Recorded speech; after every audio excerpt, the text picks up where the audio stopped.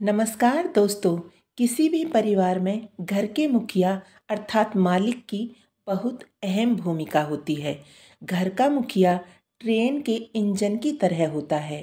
अगर इंजन ठीक काम कर रहा है तो पूरी ट्रेन सही गति से चलेगी। और इंजन में थोड़ी भी खराबी आई तो ट्रेन के सभी डिब्बों का संतुलन बिगड़ जाएगा। ठीक उसी प्रकार घर के मुखिया का एक फैसला घर के बाकी सदस्यों का भविष्य बना भी सकता है और बिगाड़ भी सकता है। आइए आपको बताते हैं कि परिवार के मुखिया की कौन सी गलतियाँ पूरे परिवार के लिए संकट खड़ा कर सकती हैं। नंबर एक, निर्णय पर अडिग न रहना। मुखिया को हमेशा अपने निर्णयों पर अडिग रहना चाहिए। जिस परिवार का मुखिया अपने फैसलों पर अडिग रहता है, उसके परिवार के सदस्यों को भी अनुशासन में रहने की आदत हो जाती है। इसलिए घर के मुखिया को अपने निर्णयों का पक्का होना चाहिए। नंबर दो, कान का कच्चा होना। घर के मुखिया को कान का कच्चा बिल्कुल भी नहीं होना चाहिए।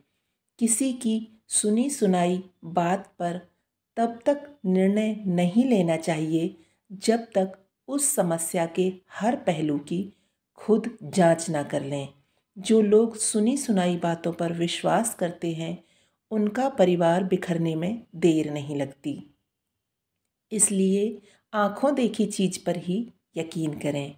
नंबर तीन, साफ़ चरित्र ना होना। घर का मुखिया पूरे परिवार के लिए प्रेरणा स्रोत होता है। बाकी सदस्य भी उसका अनुसरण करते हैं। अगर मुखिया के चरित्र में नशा, फिजूल खर्ची और बहुत से अन्य प्रकार के अवगुण होंगे तो परिवार को बिखरने से भगवान भी नहीं बचा सकता। परिवार के सदस्यों से संबंध। परिवार के, मुखिया के परिवार के सदस्यों के साथ अच्छे संबंध होने चाहिए। भले ही मुखिया पर बहुत सारी जिम्मेदारियाँ होती हैं, परंतु उसे कुछ समय अपने परिवार के साथ अवश्य ही बिताना चाहिए।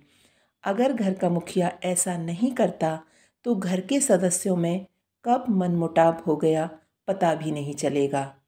मुखिया के अपने भाइयों और अपने बच्चों के साथ अच्छे संबंध होंगे तो पूरा परिवार संकट के समय एक दूसरे की ताकत बन जाता है। नहीं तो बाहरी लोग इसका फ़ायदा उठाएँगे। जानकारी पसंद आई हो तो एक लाइक कर देना और चैनल को सब्सक्राइब कर लेना। धन्यवाद।